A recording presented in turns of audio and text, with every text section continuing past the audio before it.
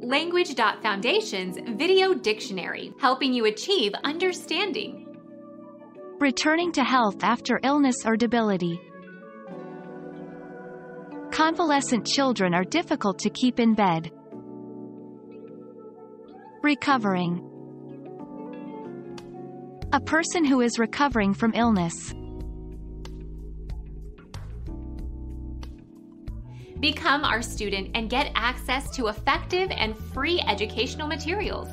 Subscribe to our channel to become a part of our growing community and to learn English effectively.